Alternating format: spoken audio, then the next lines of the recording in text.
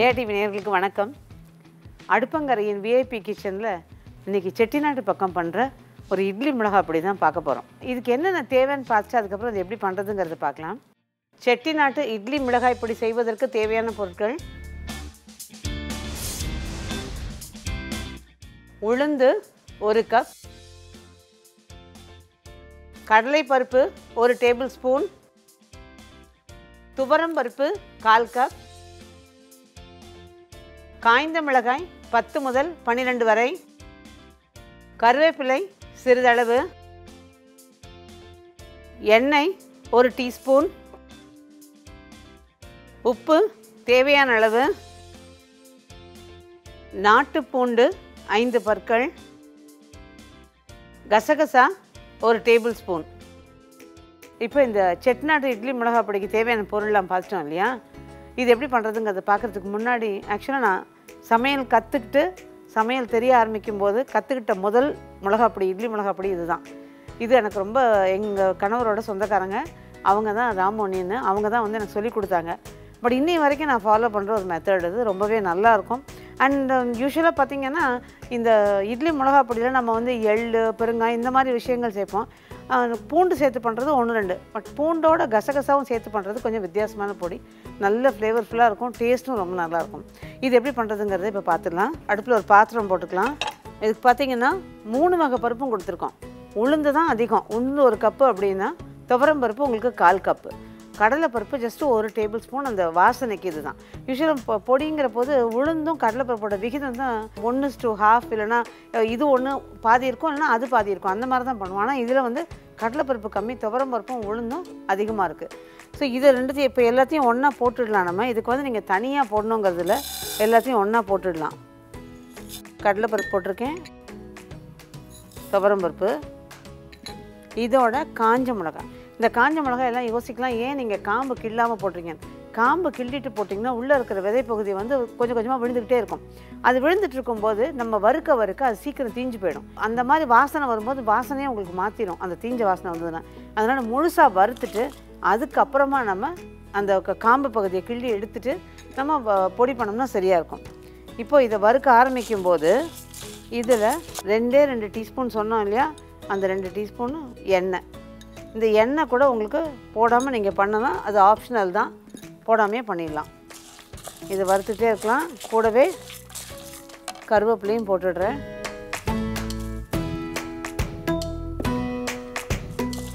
இப்போ நான் ஹை ஃப்ளேமில் வச்சு கைவிடாமல் வறுக்கிறேன்.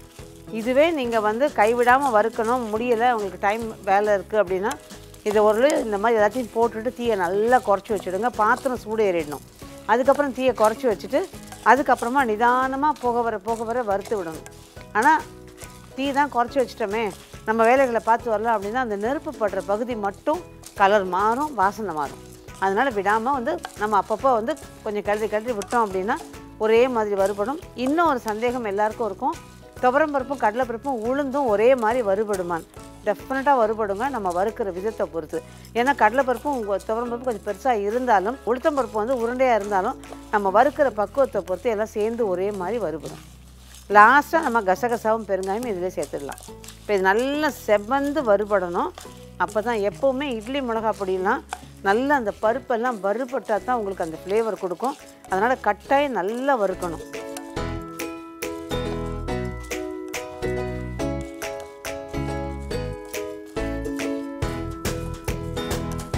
இப்போ பார்த்தீங்கன்னா நம்ம வறுக்கிறதுக்கு ஏறக்குறைய அஞ்சு ஆறு நிமிஷம் ஆச்சு.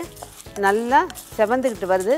இந்த ஸ்டேஜில் நம்ம வச்சுருக்கிற கசகசா பெருங்காயம் இது எல்லாத்தையும் போட்டுடலாம்.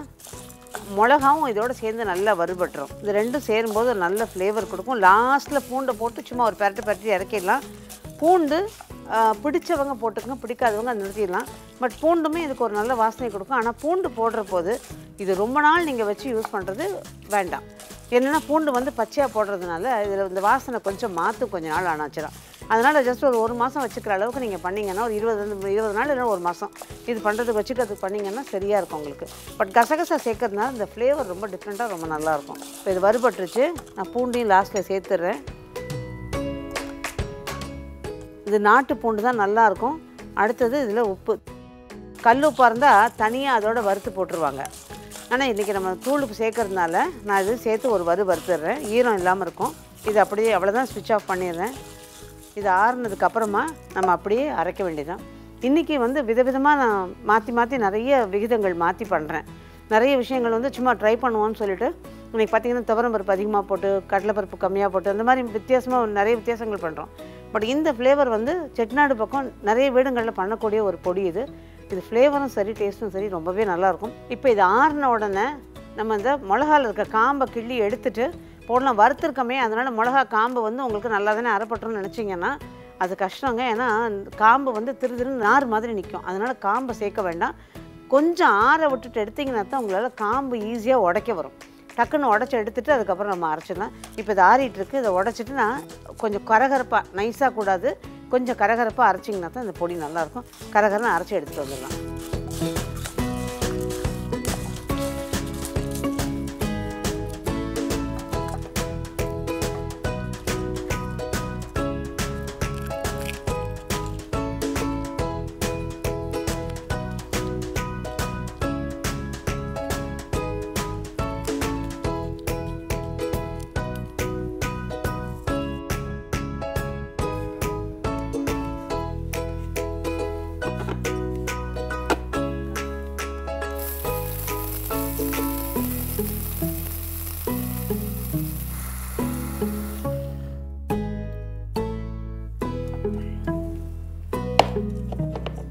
பார்த்தீங்கன்னா நல்லா கரகரப்பாக அரைச்சாச்சு. பொடி ரெடி ஆகிடுச்சு இனி ஒரு சின்ன ஒரு சர்விங் பவுலில் நம்ம வந்து சும்மா இப்போ டிஸ்ப்ளேக்காக பவுலில் எடுக்கிறோம். ஆற வச்சு நல்ல ஏர்டைட் கண்டெய்னரில் போட்டிங்கன்னா அந்த ஃப்ளேவர் மாறாமல் உங்களுக்கு நல்லாயிருக்கும் இந்த கசகசாவை நம்ம கொஞ்சமாக சேர்த்துருந்தா கூட இயல்பாக அதுக்கே உள்ள வாசனை வந்து உங்களுக்கு நல்லா டாமினேட் பண்ணும். ஃப்ளேவரும் டேஸ்ட்டும் நல்லாயிருக்கும் செட்டிநாடு இட்லி மல்லிப்பூ இட்லி வச்சு இந்த பொடியில் கொஞ்சம் நெய் அல்லது நல்லெண்ணெய் விட்டு நல்லா குழச்சிட்டு தொட்டு சாப்பிட்டிங்கன்னா பிரமாதமாக இருக்குங்க.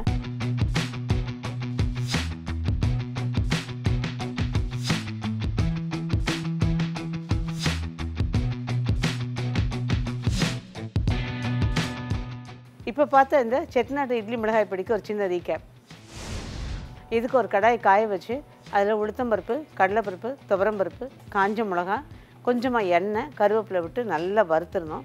அது செவந்து வரும்போது கசகசா பெருங்காயம் இதையும் சேர்த்து அதுக்கப்புறம் பூண்டும் சேர்த்து தேவையான அளவு உப்பும் சேர்த்து நல்லா வறுத்து எடுத்துட்டு ஆற வச்சு மிளகாயை காம்பு கிள்ளிட்டு அதுக்கப்புறமா எல்லாத்தோடையும் சேர்த்து ஒன்றா அரைச்சி கரகரப்பாக அரைச்சி எடுத்தோம் அப்படின்னா செட்டிநாட்டு இட்லி மிளகாய் பொடி தயார். ட்ரை பண்ணி பாருங்கள் இந்த மாதிரி உங்களுக்கு பிடிச்சா எனக்கு தெரிஞ்ச இன்ட்ரெஸ்டிங்கான நல்ல ரெசிபியோடு உங்களை மீண்டும் விஐபி கிச்சனில் சந்திக்கிறேன். நன்றி. வணக்கம்.